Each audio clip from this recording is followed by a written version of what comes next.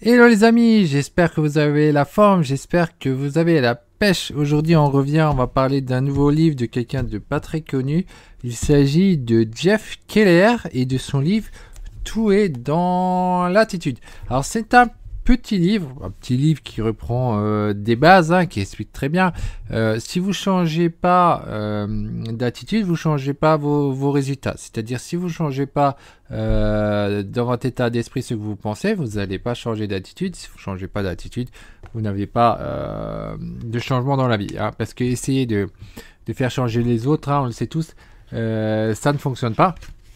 Mais changez vous-même, changez votre attitude eh ben, ça, ça change euh, effectivement euh, les choses. Alors c'est en fait lui c'était si je me rappelle bien moi ça fait un petit moment que j'ai lu le livre euh, mais en ce moment j'avais je manquais de temps. Alors en fait j'ai pas eu le temps d'en parler. J'ai continué de, de garder mon habitude de lire parce que m'est déjà arrivé de, faire des pauses.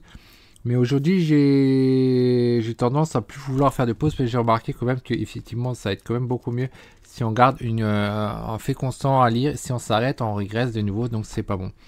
Euh, donc lui, ce Jeff euh, Keller, il me semble c'est un ancien avocat. Et, il était plus satisfait de sa situation et puis il a donc fini par changer grâce à un programme qu'il a vu à la télé ou autre.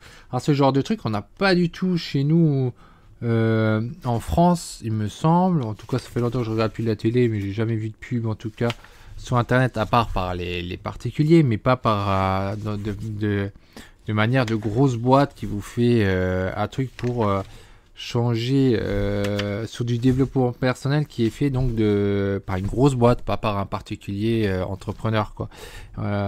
mais aux US c'est différent quoi. Alors on va en parler. Alors on va parler des notes que j'ai fait. donc la première note que j'avais mis, ne sachant pas quoi faire, j'ai simplement dit à haute voix. Il n'est pas possible que ma vie soit ainsi. Il doit exister autre chose que cette misère et cette tristesse. Donc effectivement, comme je disais au début, lui, euh, il était donc angoissé à l'idée de se rendre à son travail. Il aimait plus son travail. C'était un avocat. Et voilà, à un moment, il est, ça lui a venu à l'état d'esprit que voilà, il peut pas continuer euh, comme ça, même s'il il avait choisi de devenir avocat et tout. Hein, euh, mais un moment, il n'en pouvait plus, quoi. Parce que c'est vrai que le métro, boulot, dodo, c'est pas le truc euh, qui plaît euh, au bout d'un temps. Au bout d'un temps, on en a marre, quoi. donc, qu'est-ce que j'ai mis dessus? Ensuite, laissez-moi vous donner quelques exemples pour illustrer ce qui distingue l'attitude positive et l'attitude négative. Alors là, il en vient euh, au point, donc, genre de vocabulaire. Hein. C'est une personne dont l'attitude est négative pense je ne peux, je ne peux pas. Une personne dont l'attitude est positive pense je peux. Une personne dont l'attitude est négative s'attarde sur les problèmes. Une personne dont l'attitude est positive se concentre sur les solutions. On aurait pu aussi mettre les, sur les opportunités. Hein. Euh, une personne dont l'attitude est négative blâme les autres. Une personne dont l'attitude est positive cherche ce qu'il y a de meilleur chez les autres. Une personne dont l'attitude est négative s'adapte sur ce qui lui manque. Une personne qui, dont l'attitude est positive se réjouit de ce qu'elle possède. Et ça, c'est aussi vrai.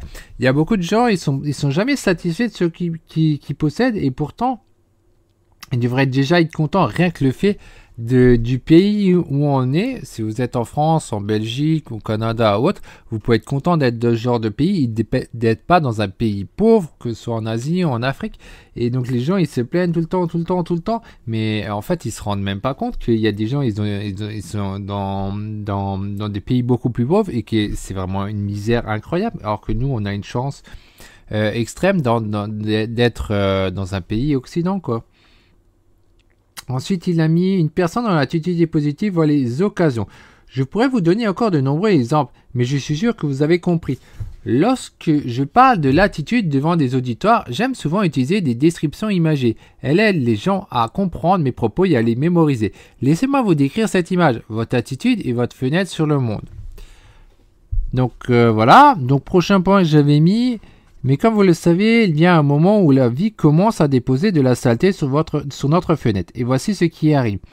Nos fenêtres et Notre fenêtre est éclaboussée par les critiques de nos parents et de nos professeurs. Notre fenêtre est salie par les décisions de nos pères. Notre fenêtre est barbouillée par le rejet.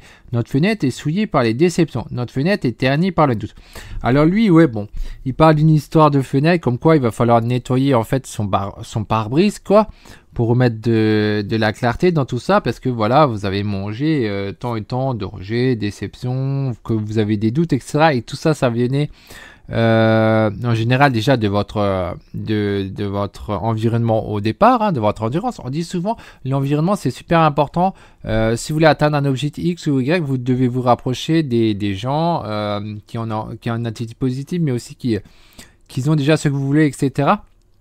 Parce que ça va vous propulser. Et il est vrai que plus vous vous, vous, traînez avec le, les gens, avec des choses que vous ne voulez pas, plus vous allez dire comme ça, votre, vous ne pouvez pas nettoyer votre fenêtre. Euh, en, continuant euh, à rester dans un mauvais environnement. Hein. Euh, juste lire un petit peu ce qu'il avait dit. J'ai dit que la votre sur le monde. Au début de votre vie, nous avons tous une bonne attitude, ou devrais-je une fenêtre mentale claire et limpide? Observez vos jeunes enfants. Ils rient sans cesse. Ils ont d'humeur joyeuse. Ils adorent faire des découvertes. Ouais, donc là, on revient sur la base. Euh, ouais, bon, les enfants, au départ, ils étaient joyeux, etc. Ça, c'est vrai. Euh, et par la suite, ils changent, mais c'est dû à, cause de ce que. de l'environnement, en fait. Hein. Mais ça, c'est des choses qui ont quand même changé par la suite. Hein. Ce n'est que lorsque vous nettoyez la fenêtre de votre attitude qui peuvent murmoiter les principes du succès. Si votre fenêtre est encrassée, seule une infime réunion de ces principes pourra la traverser. Votre réussite sera limitée ou encore impossible. Mais lorsque vous apprenez à maintenir clair et limpide la fenêtre de votre attitude, la lumière y entre à flot et vous pouvez utiliser ces principes stimulants pour gagner davantage d'argent, connaître davantage de relations satisfaisantes, accroître votre conscience spirituelle et vous réaliser pleinement. Si vous combinez une attitude positive au principe du succès, rien ne vous arrêtera. Donc euh, bon. Donc il est dit déjà de base, si on n'a pas une attitude positive, on ne pourra pas activer les autres principes. Donc c'est les autres principes qui va parler euh, par la suite. En tout cas, c'est clair que voilà, il faut, rectifier euh, déjà ce qu'on qu'on imagine au départ, euh, c'est-à-dire notre monologue qu'il faut, qu'il faut nettoyer, quoi. Donc, ah, j'ai noté un point après qui disait Nous devenons ce que nous pensons. Voici ce qu'il en est si vous pensez constamment à un but en particulier, alors que vous prendrez des mesures pour vous rapprocher de ce but. Supposons que quelqu'un que nous appelons Fred pense être capable de gagner 30 000 euros par année. Comme un aimant humain, Fred attirera les occasions professionnelles qui le feront cheminer dans cette direction. Tant que Fred s'approcha à cette pensée, il réussissa à gagner 30 000 euros par année. Alors, il faut bien faire la différence entre vouloir et euh, ce que on pense ou qu'on croit. Euh, ça, c'est un truc qui est, qui est, c'est pas dit clairement ici, mais je peux vous le dire à, lire différents livres. Il y a une très grande différence entre ce que l'on veut et ce que l'on croit, qu'on pense. Euh, quand on veut, on va pas forcément l'avoir. Il suffit pas de dire oui, je veux être riche, je veux être millionnaire. Ça marche pas comme ça. Il faut croire que c'est possible ou alors penser que c'est possible pour pouvoir atteindre ce but. Donc c'est ce qu'il est en train de, de mettre là à l'avant. Cela dépend. Jusqu'à quel point Fred croit-il qu'il peut gagner 50 000 dollars par année? Il est possible que Fred souhaite gagner cette somme, mais qu'il ne croit pas réellement en être capable. Voilà. C'est bien ce que je dis. Il faut croire et pas... Euh, il ne faut pas simplement vouloir, il faut croire. Si c'est le cas, Fred n'atteindra pas son objectif. Par contre, si Fred pense constamment à ce revenu plus élevé et croit qu'il peut atteindre cet objectif, il arrivera effectivement à gagner 50 000 dollars par année. Donc là, comme je viens de vous le mettre en avant, donc c'est nouveau l'histoire de foi que disait Napoléon dans son livre Réfléchissez et devenez riche. Il faut vraiment que vous aviez cette, cette croyance euh, de penser ainsi, ne pas juste vouloir. Vouloir, ça ça marchera pas comme ça. Il faut vraiment euh, croire que c'est possible. C'est le fait de croire. Ensuite, euh, j'ai noté ici le mot-clé est dominant. Vous ne pouvez espérer obtenir des résultats positifs lorsque vous passez 10 secondes par jour à penser positivement, puis 16 heures à ressasser des résultats négatifs. Voici donc l'essentiel. Voici donc l'essentiel. Un petit peu de pensée positive n'entraîne pas de résultats positifs, tout comme un petit régime ne donne rien. Donc là, c'est pareil. on peut prendre effectivement le, le, point du régime comme il dit. Euh, le truc, c'est simplement si vous prenez un système en pourcentage, vous devez avoir au moins 51% euh, d'attitude positive pour arriver à faire les bonnes choses à dire. Si vous êtes à 49% négatif, eh ben, vous allez euh, attirer donc les points qui sont en fait euh, négatifs. Et comme on le sait, la plupart des gens à la base sont négatifs. Et du coup, nous aussi, on va agir pareil, on va reprendre tous ces points négatifs et on va faire pareil, alors que c'est justement ce qu'il ne faut pas faire. Il faut tourner les choses et être dans le sens plutôt euh, positif, optimiste. Et c'est ce qui va nous permettre en fait d'attirer en fait les bonnes choses. Et bien sûr, dans votre entourage, si euh, il y a quelqu'un qui est négatif, n'hésitez pas à lui demander pourquoi il tourne ça dans un sens euh, négatif ou autre pour essayer de voir.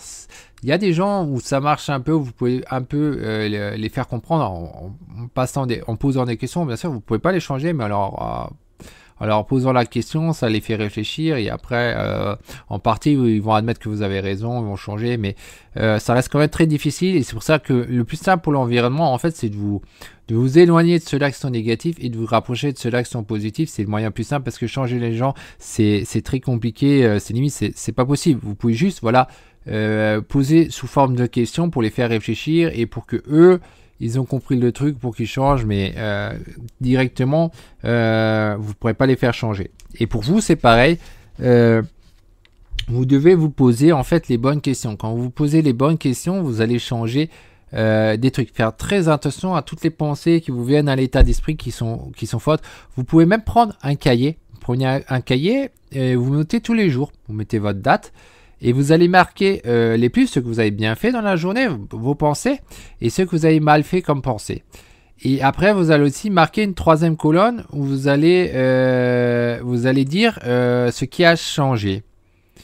Et comme ça, vous allez chercher à supprimer tous les pensées qui étaient négatives, qui n'étaient pas bons, vous les allez les changer. Alors, dire par exemple, je n'aime pas quelque chose, vous allez plutôt dire je préfère ceci. Euh, là, on a un truc de, changement et c'est meilleur. Au lieu de dire euh, j'essaie, vous allez dire euh, je m'engage. Hein. Je n'essaie pas le truc, je m'engage à le faire et je n'essaie pas de le faire. Vous voyez la différence? Et tous ces trucs, quand vous les changez, eh ben, ça va vous permettre d'arriver beaucoup bien plus loin. Il y a beaucoup de gens, ils, cherchent toutes sortes d'excuses et c'est pour ça qu'ils ne peuvent pas arriver. Après, ils ont bien ce qu'ils ont demandé. Hein. Euh, encore récemment, je vois une personne, j'ai rien dit aux, personnes, et moi je pense que c'est très mauvais état d'esprit. C'est que le gars il achète bon euh, des cartes à bord blanc et il dit voilà parce que les cartes euh, en original coûtent trop cher. Et après, c'est qu'il a sorti, ah oui, mais bon, le bord blanc selon les cartes c'est mieux, etc. Alors il a tout changé des trucs pour, euh, pour justifier son achat par la suite, or qu'en réalité, ce qu'il voulait, c'est bien la version originale. Et tout ça, en fait, c'est déjà en fait dans, dans, votre tête le problème. La personne, elle ne pourra jamais avoir euh, la version originale de, de, la carte parce que dans sa tête, elle, a dit, elle a, elle a abandonné et elle aurait pu l'avoir. Personnellement, moi, ça m'a jamais empêché d'avoir la version que je voulais parce que j'ai pas cet état d'esprit à me dire euh, voilà je suis obligé de redescendre de régresser pour l'avoir. Et c'est tout ça c'est avant tout euh, un état d'esprit. Quand vous vous posez la question comment vous pouvez avoir le truc vous allez trouver des solutions pour avoir euh, ce fameux objet comme vous voulez. Mais quand vous vous dites c'est pas possible vous cherchez plein d'excuses. Ah oui mais c'est trop cher c'est ci c'est ça et eh ben en fait vous n'arrivez pas, euh, vous n'arrivez pas à l'avoir parce que vous ne croyez pas que c'est possible d'avoir euh, euh, cet objet X. Voilà. Si maintenant vous ne croyez pas que vous pouvez avoir, si vous êtes fan par exemple de voiture, il y a beaucoup de gens, je sais, ils adorent les voitures.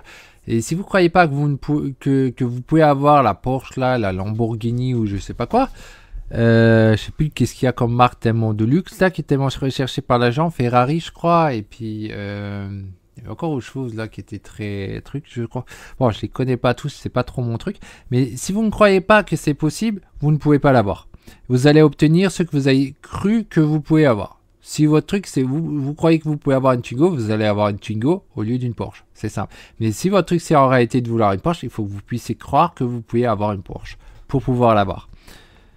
Euh, donc, il faut changer le pourcentage, être plus positif que négatif pour finalement arriver à ce qu'on veut. Alors, ensuite, j'ai noté, j'ai toujours été conscient des actes que je devrais poser pour acheter ces immeubles locatifs, communiquant avec les courtiers en immeuble? Ah oui, euh, dans cette histoire, le gars, il a aussi acheté des immeubles de rapport. Ça, c'est un truc que je trouve trop génial, euh, la tactique des immeubles de rapport. Euh, c'est quelque chose où vous achetez, vous avez beaucoup d'avantages là-dessus. Bon, c'est pas la seule tactique qui est bien. Il faut, penser aussi à diversifier. Mais le truc est vachement bien. Quand vous achetez un immeuble de rapport, vous achetez en gros. Donc vous achetez direct plusieurs appartes. Et donc forcément, ça va coûter, moins cher euh, euh, parce que vous allez acheter en gros. Et en plus de ça, vous allez aussi gagner du temps au moment de l'achat parce que vous passez une fois chez le notaire. Mais aussi par la suite, toutes les paperasses et tout, il y aura moins.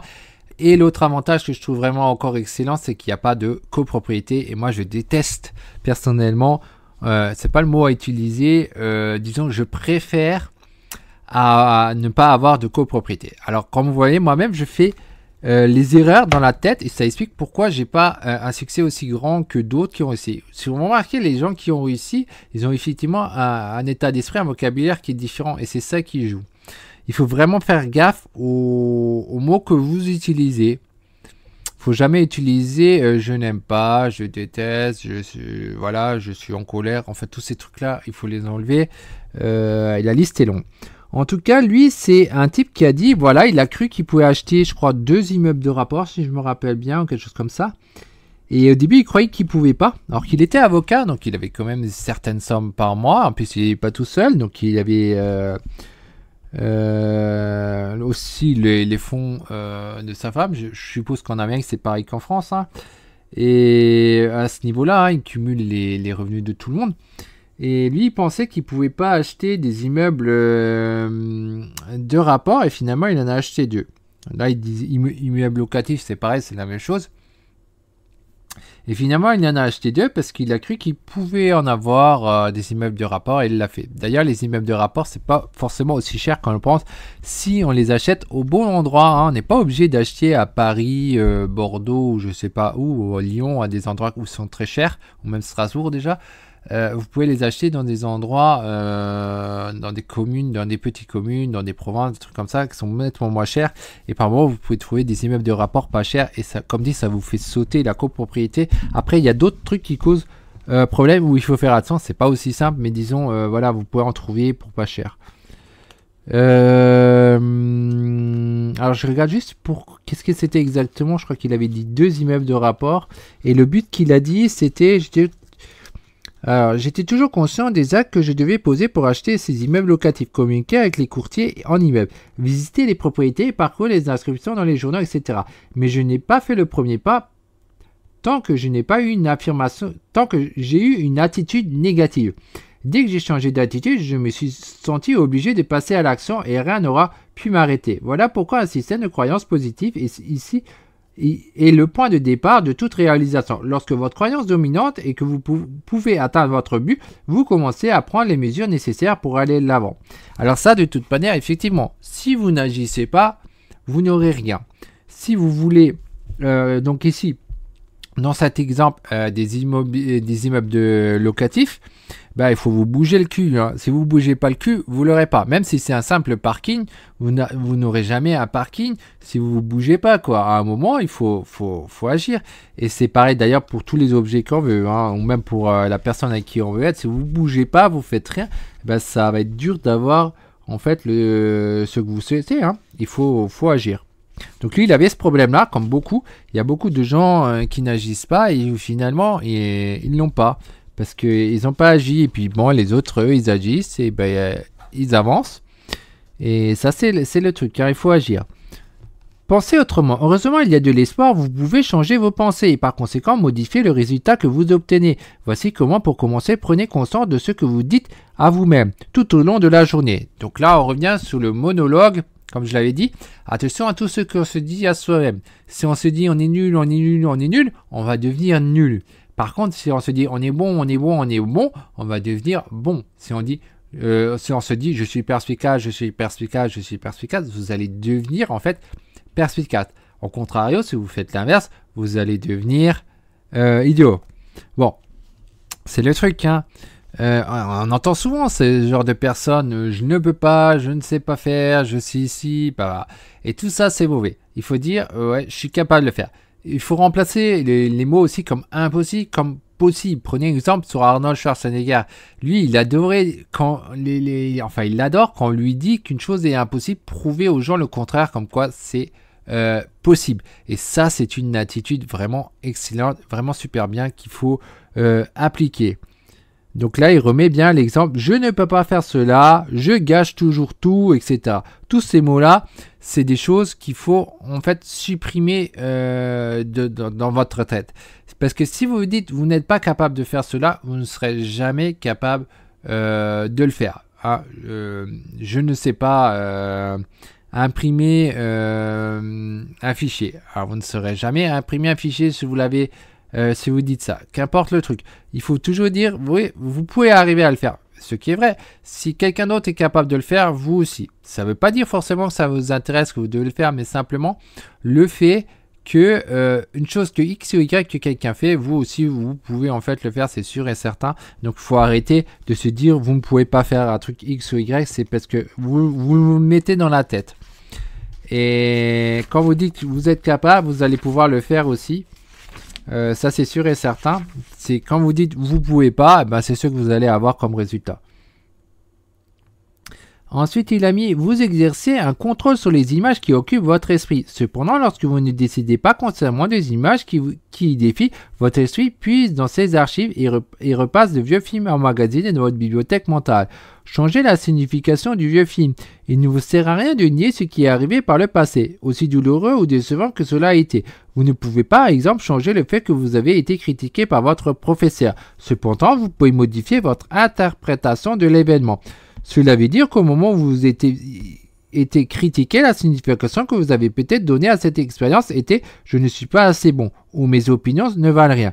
Mais si c'était l'interprétation d'un enfant, vous l'avez peut-être transporté par une inadvertance dans votre vie d'adulte. Aujourd'hui, cependant, vous pouvez choisir constamment de voir la situation sous un angle différent. Par exemple, le professeur n'était peut-être pas d'accord avec vous, mais il ne s'agissait pas d'un constat à propos de votre intelligence ou de votre valeur en tant que personne.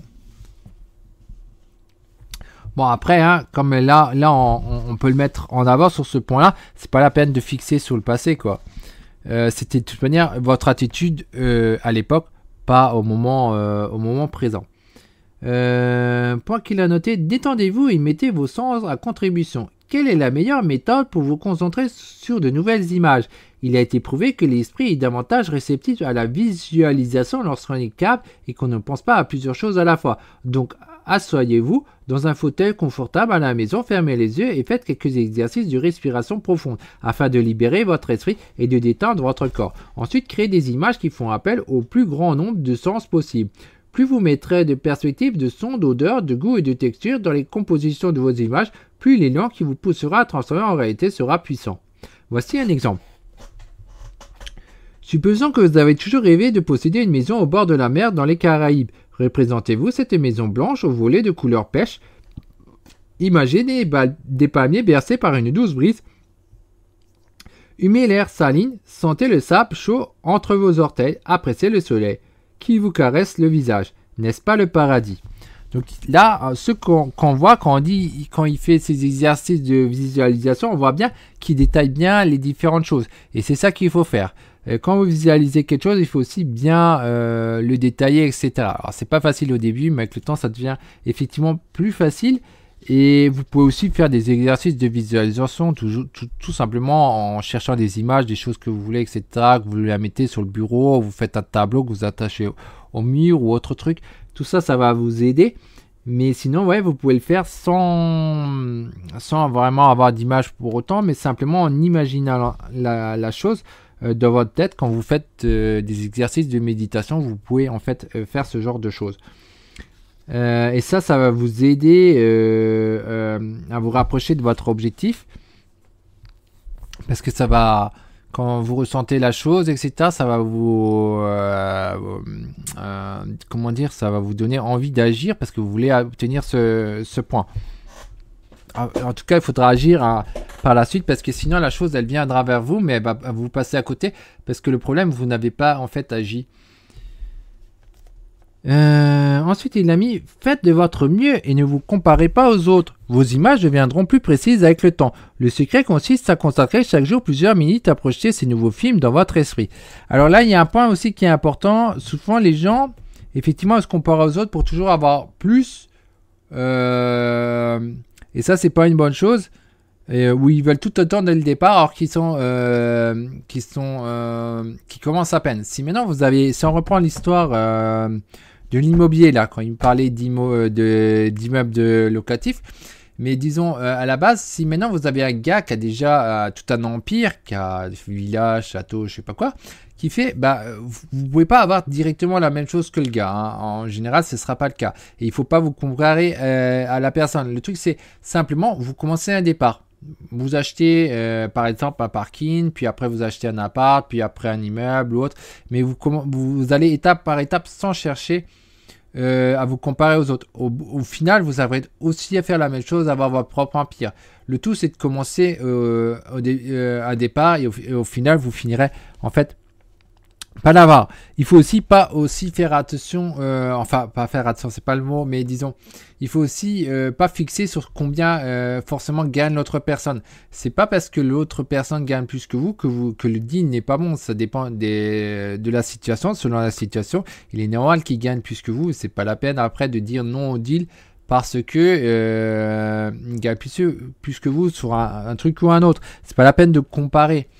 Euh, par moment, euh, soit c'est justifié, soit ça ça n'est pas justifié. Mais si, euh, je sais pas comment vous le dire, si maintenant vous avez par exemple, on va rester dans cette histoire d'immobilier, vous avez vous achetez avec une autre personne et que cette personne a fait les travaux en plus et vous ne l'avez pas fait, ben, c'est un peu normal qu'il gagnera plus.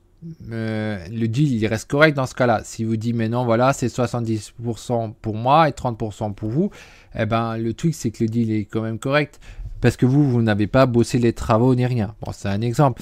Mais disons, voilà, quoi. C'est pas la peine de comparer forcément aux autres. Si le truc, il est bon, ben voilà, vous pouvez prendre le truc. Euh, qu'est-ce qu'on voit encore là-dedans? Il a refusé d'abandonner. Mon grand ami Jerry Gladstone m'a appris beaucoup sur la magie de l'engagement. En 1986, Jerry a lancé sa propre entreprise American Royal Hearts, qui était spécialisée dans la vente d'un grand nombre d'objets de collection. Un an plus tard, il a repris la décision de se concentrer sur les produits issus de l'industrie de l'animation. Alors, euh, il a obtenu des contrats de licence après de Warner Bros. Anna Barbara et d'autres studios plus petits. Mais il, s'est vite rendu compte qu'il devait vendre des objets d'art à l'effigie des personnages de Walt Disney pour rendre son entreprise réellement prospère. Pendant trois ans, il a écrit et téléphoné aux principaux dirigeants de Disney, leur demandant la, permission de vendre des œuvres d'art inspirées de leurs personnages. À chaque fois, il a obtenu la même réponse non. Cela n'a pas découragé Jerry. Il a continué à communiquer avec des cadres supérieurs de Disney. L'une d'elles, qui en avait plus qu'assez de lui, lui a finalement dit d'un ton et d'une voix digne d'un amalgame de la fée maléfique de la Belle au bois dormant, de la reine jalouse de Blanche-Neige et des Sept et de Cruella des villes des 101 d'Amalcien. Vous n'obtiendrez jamais un contrat de licence auprès de Disney. Il est temps d'abandonner, n'est-ce pas? Mais ce n'était pas l'avis de Jerry. Tous ces refus n'avaient pas réussi à le décourager. Il a téléphoné à d'autres dirigeants de Disney, et puis l'un d'entre eux qui espérait se débarrasser de lui une bonne fois pour toutes a dit Eh bien, les seuls deux endroits où nous pourrions envisager l'établissement d'une galerie offrant des objets d'art inspirés des créations de Walt Disney serait le Minnesota ou le Massachusetts. Les locaux commerciaux de Jerry se trouvaient à New York et il n'avait aucune envie d'ouvrir une galerie dans une ville lointaine. Mais devinez ce qu'a fait Jerry, il a pris l'avion à destination de Boston dès le lendemain et à la fin de la journée, il avait loué un emplacement sur la rue Newbury.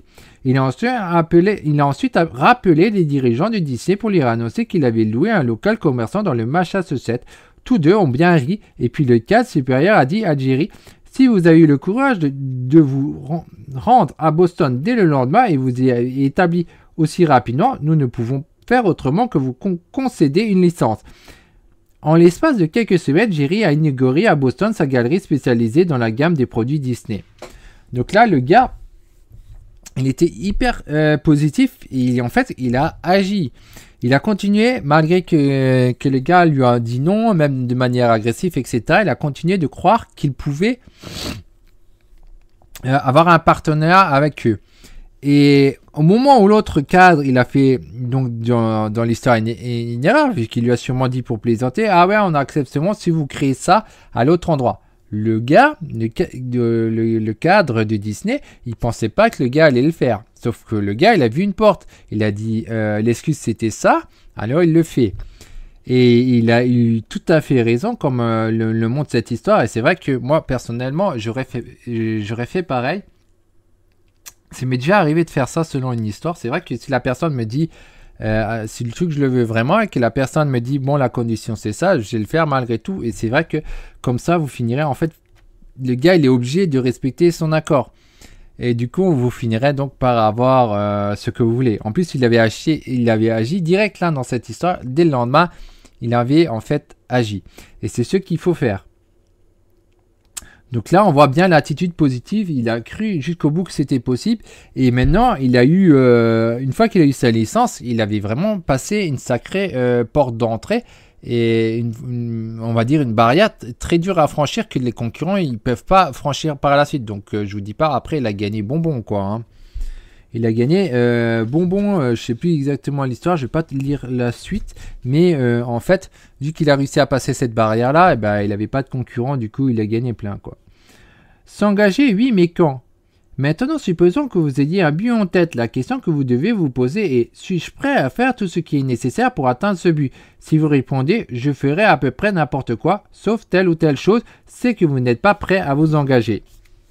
Donc là, effectivement, euh, faut pas chercher une excuse. Hein. Et si vous cherchez une excuse, vous allez avoir du mal à atteindre euh, votre, euh, votre objectif, quoi. Euh, bon, c'est classique, hein, c'est un livre classique qui, fait des bons rappels sur, euh, sur les points de développement personnel qu'il faut à tout prix arriver à maîtriser parce que tant que vous ne maîtrisez pas les différentes choses, eh ben, vous allez avoir du mal à changer votre vie. Pour, pour moi, c'est pareil. Tant que les choses ne sont pas euh, maîtrisées, il suffit pas de les, les, connaître ou de les réviser. Il faut vraiment être capable de les, les appliquer, de, de prendre, d'avoir ces habitudes-là. Comment l'adversité nous sert? Examinons maintenant 7 points dont l'adversité peut nous servir. Alors là, je vais juste lire un peu les points. L'adversité nous donne une nouvelle perspective. L'adversité nous enseigne à faire preuve de reconnaissance. L'adversité fait ressortir le potentiel qui se cache en nous. L'adversité nous encourage à faire des changements et à passer à l'action. L'adversité nous enseigne des leçons de grandeur. L'adversité ouvre une autre porte. L'adversité fait grandir la confiance et l'estime de soi. Alors sur ces points-là, je vais faire une vidéo à part dont je reparlerai, donc je ne vais pas m'attarder dessus. Euh, sur cette histoire d'adversité, mais on va en reparler des 7 points dans une vidéo à part, ça peut être euh, sympa. Euh, je vais le faire. point suivant. À quand remonte la dernière fois où vous avez sérieusement réfléchi aux mots que vous utilisez chaque jour? Quels soins mettez-vous à les choisir? Donc là, on, revient sur le, point. Attention aux mots qu'on utilise.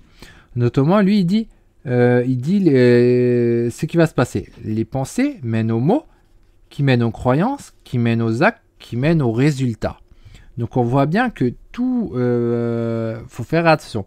Ce que nous pensons, ça va donner euh, des mots. Ces mots donnent des croyances et ces croyances vont donner des actes donc on va agir en conséquence, qui va nous donner des euh, résultats.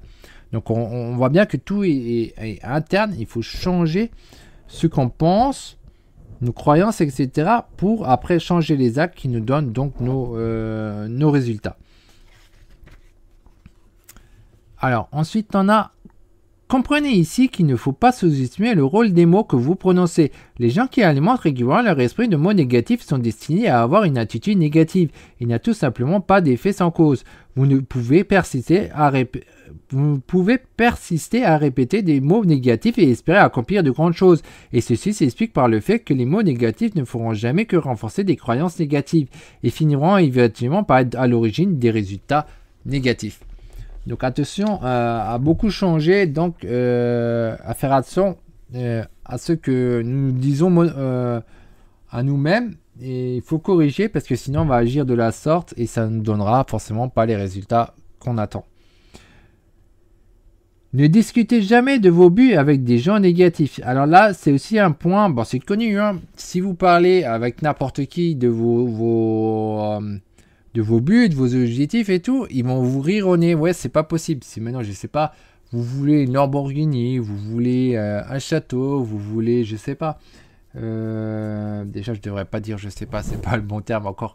Comme moi, moi-même, j'ai beaucoup de mal encore actuellement à, changer les mots. Donc euh, oui, qu'est-ce qu'il y a tout? Donc euh, euh, ouais, il faut pas dire vos rêves aux autres. Parce que quand vous dites vos rêves aux autres, ils vont vous rire en nez, ils vont vous dénigrer, etc. Et ça, c'est un point commun de tous les gens qui sont sur la voie de réussir ou qui ont, qui ont réussi. Ils le racontent. Hein. Moi, j'adore écouter ce, les genres de personnes. Je me rappelle, même euh, une conférence euh, que j'ai vue avec un Allemand, il sortait exactement la même chose.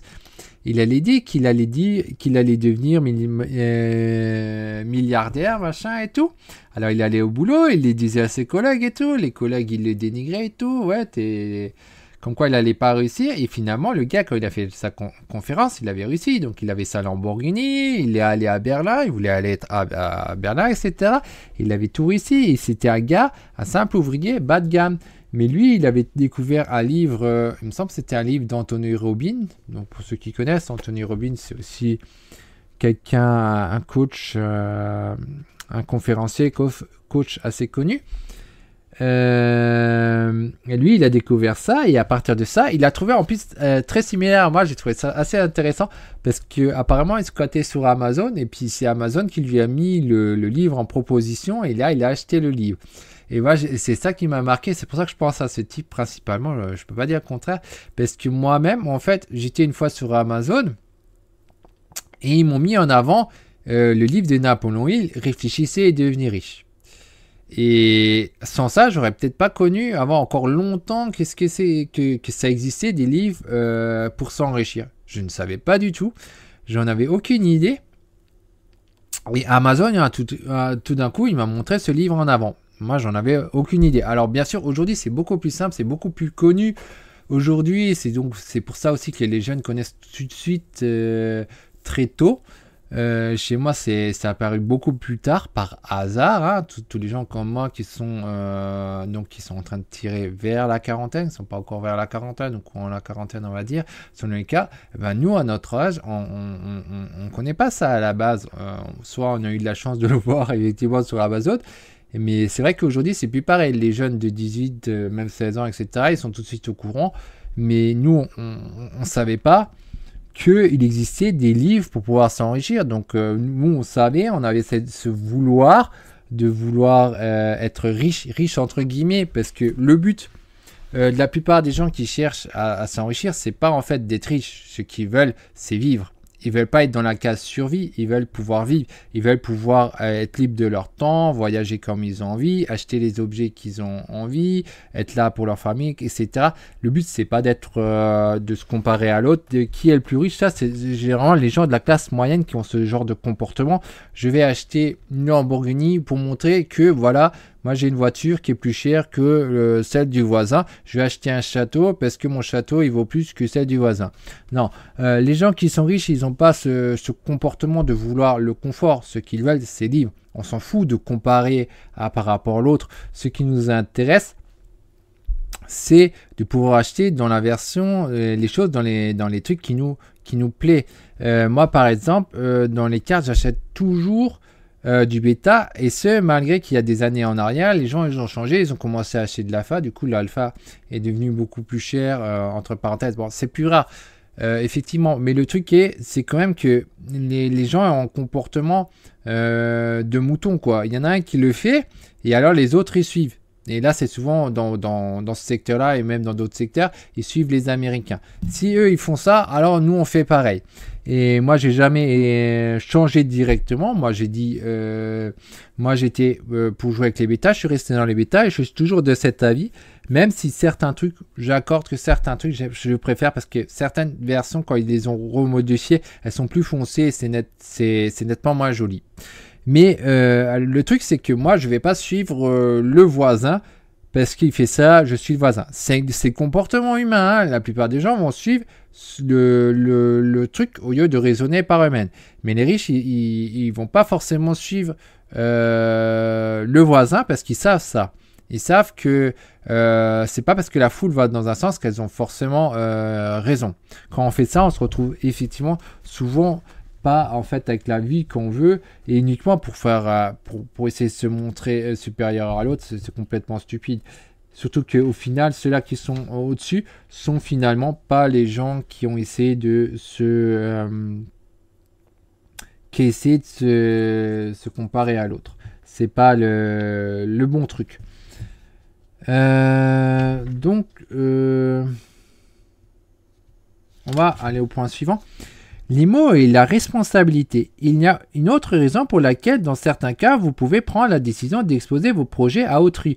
Il s'agit alors de l'obligation de rendre des comptes. En d'autres termes, si j'annonce aux autres que je vais faire quelque chose, alors je dois aller de l'avant et le faire. Pensez à cette approche comme à brûler les ponts, à vous interdire tout retour en arrière. Alors ça, c'est un peu l'histoire, c'est genre, vous allez sur une ligne et sur une île et vous brûlez les bateaux derrière. Ça veut dire que vous ne pouvez pas reculer.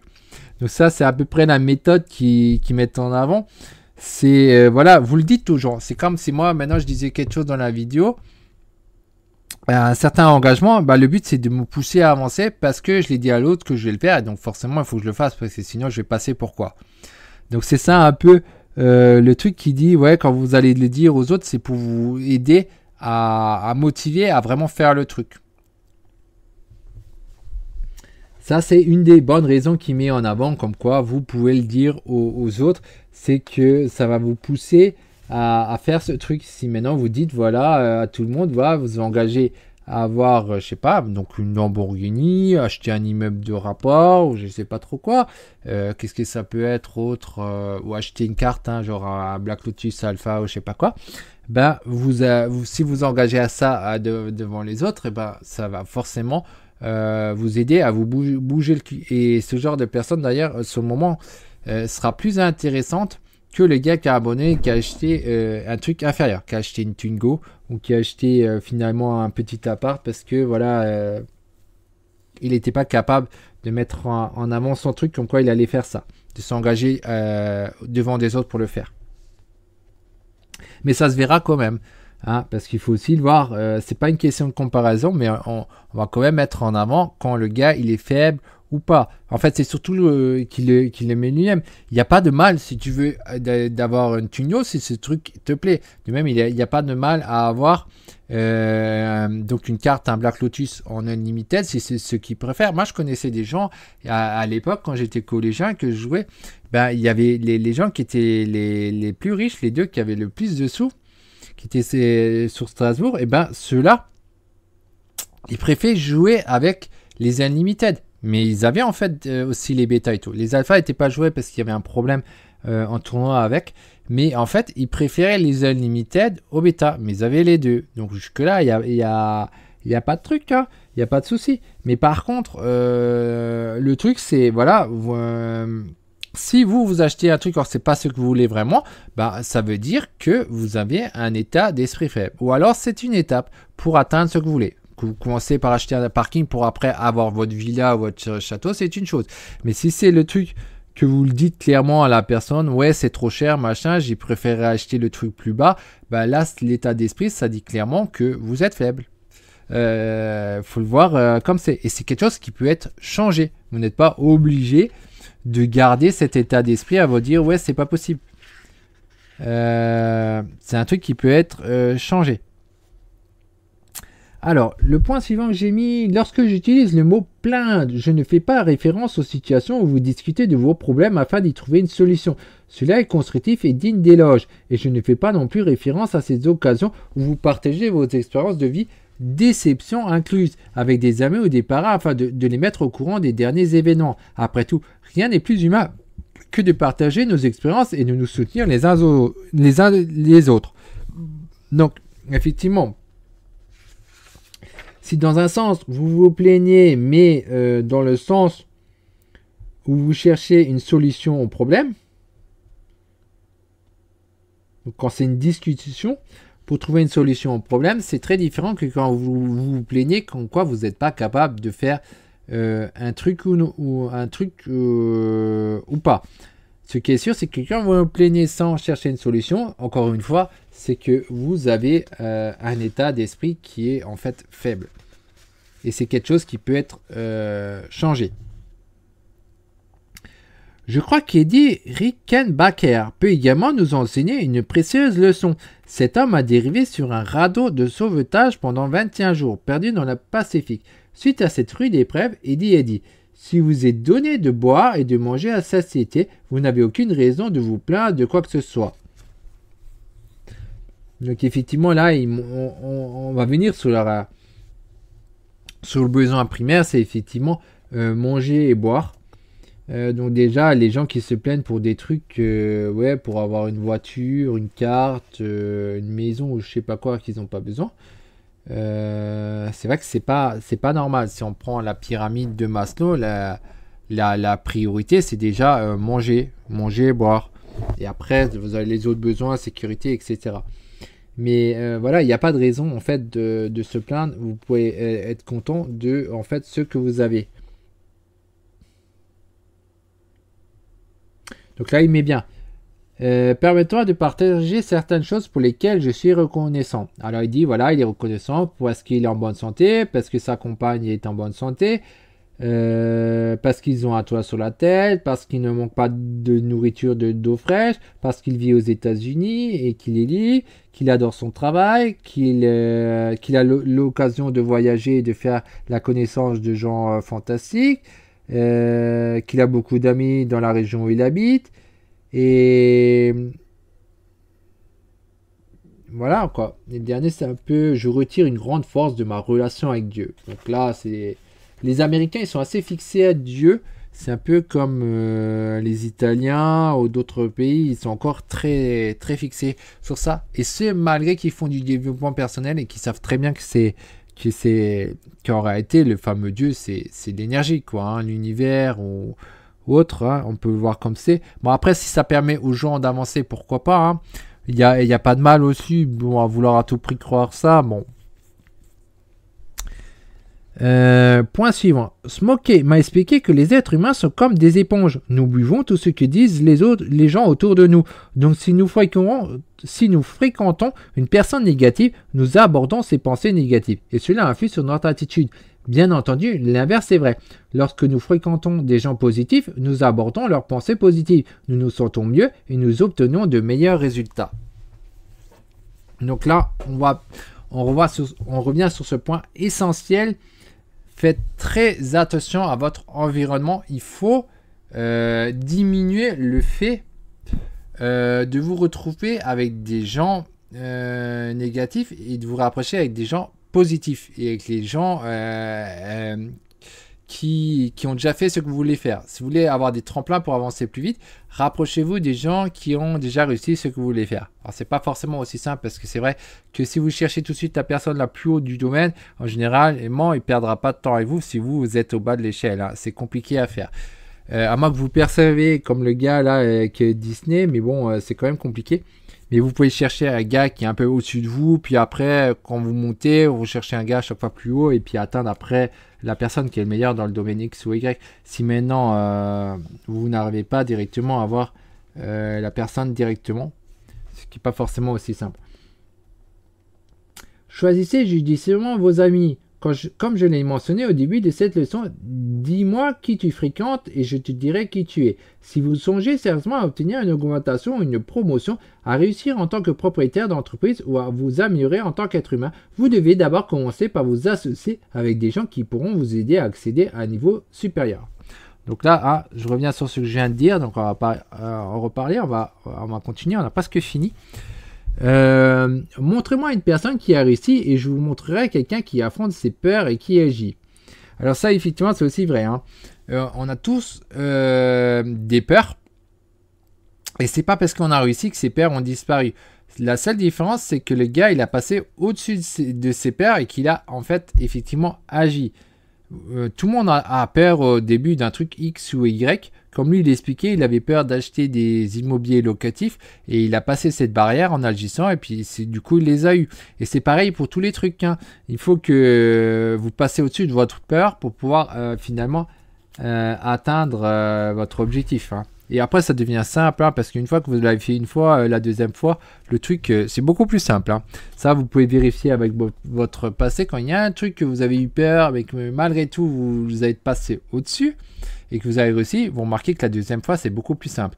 Et c'est pareil dans, tous les domaines. Euh, c'est seulement la première fois qui est la plus difficile, mais quand vous la passez, que vous avez passé au-dessus de la peur, c'est bon. Ensuite, vous pouvez essayer de tourner autour du pot autant que vous, du pot autant comme autant. Mais vous n'arriverez pas à vous réaliser pleinement tant que vous ne serez pas prêt à vous sentir déstabilisé. La vie ne récompense pas ceux qui refusent de s'exposer aux difficultés et aux défis. Il est important que vous vous mettiez en position de gagner. Et cela signifie passer à l'action en dépit de la peur. Voilà. Comme l'a dit ma chaîne, c'est bougez-vous le cul. Ça marche pas autrement. Bougez-vous. Ah, il faut passer au-dessus de vos peurs pour arriver à atteindre euh, vos objectifs. Moi, je connais pas euh, personnellement ce que vous voulez atteindre, mais ce qui est sûr, euh, vous arrivez seulement à les avoir à partir du moment où vous agissez et que vous passez au-dessus de vos peurs. Ensuite, le dernier, des questions clés. Mon plan est-il réaliste? Suis-je réellement engagé? Suis-je l'objet d'un grand nombre d'influences négatives? Suis-je prêt à réussir? Suis-je vraiment prêt à accepter l'échec? Alors ça, j'en parlerai dans une autre vidéo parce que j'adore faire ce genre de truc avec les listes. Euh, si vous notez pas les résultats escomptés ou si vous vous sentez découragé par les échecs, posez-vous les questions suivantes. Ouais, ça on fera dans une autre vidéo les questions clés. Et le dernier point que j'ai noté pour terminer cette vidéo, alors, euh, qu'est-ce qu'il a encore dit que je trouvais intéressant ce moment? Maintenant que nous savons ce que le réseautage peut accomplir, nous devons nous poser la question suivante. Comment pouvons-nous rendre notre réseau encore plus efficace Permettant de vous exposer 16 techniques que je, trouve, très utiles à cet égard? Pour simplifier les choses, je les ai réparties en quatre catégories distinctes, mais tout de même apparementées. Attitude et action, référence, communication et suivi. Donc, le premier, c'est projeter une attitude gagnante, jouer un rôle actif au sein des groupes d'organisation, épauler les autres membres du réseau, 4. Si vous recommencez quelqu'un à une relation si vous recommandez quelqu'un à une relation d'affaires, assurez-vous que cette personne mentionne votre nom. Soyez explicite. Soyez sélectif. Ne recommandez pas systématiquement toutes les personnes que vous rencontrez. Sachez écouter. Appelez les gens de temps en temps pour leur montrer que vous vous en préoccupez d'eux.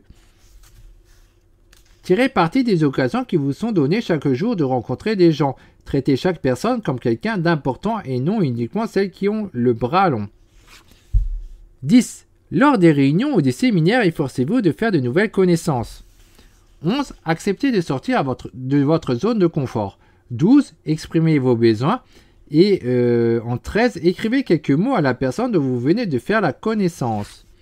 Et en 14, sachez reconnaître la valeur d'exposer aux articles de qualité. Ah, c'est jusqu'à 16, pardon. Alors, 15. Euh, Lorsque vous recevez une recommandation ou de documentation utile, envoyez toujours un mot de remerciement au téléphone à l'expéditeur pour lui témoigner votre reconnaissance. Envoyez des lettres et des cartes de félicitations. Voilà un peu les, points que j'avais notés. Le livre est vraiment intéressant. C'est un livre à, lire qui, fait réviser pas mal de choses que on a sûrement déjà vues. Si on lit quelques livres de développement personnel depuis quelques temps, c'est pas des choses nouvelles, mais ça nous fait bien comprendre toujours et encore une fois que les choses, elles sont, elles ainsi. Il faut, appliquer euh, les différents points, changer son attitude pour changer en fait ses résultats. Si on veut d'autres résultats, de meilleurs résultats, il va falloir donc euh, changer euh, des points comme il souligne euh, dans ce livre et dans d'autres livres du même genre. Donc j'espère que, cette vidéo vous a aidé un petit peu sur ce qu'il en est de, ce livre de Jeff Keller. Donc n'hésitez pas, si vous l'avez lu, n'hésitez pas à en parler en commentaire ce que vous avez pensé du livre, etc. N'hésitez pas à mettre un pouce bleu, ça va aider la chaîne à prospérer et donc euh, à aider d'autres personnes, à partager, etc. Enfin les trucs euh, donc euh, classiques. À vous abonner si vous voulez connaître les nouvelles vidéos qui arrivent sur la chaîne, bien sûr, ça aussi. Et activer la, la fameuse cloche si vous voulez le savoir tout de suite.